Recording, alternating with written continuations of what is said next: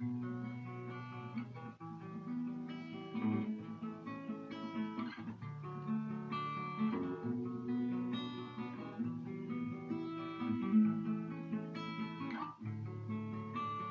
бабушку звали Роза.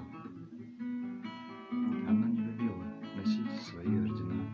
На День Победы не скрывала слезы.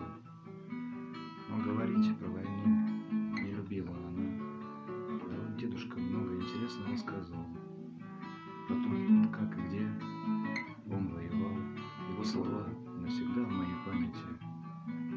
Вот про бабушку я только, когда вырос, узнал.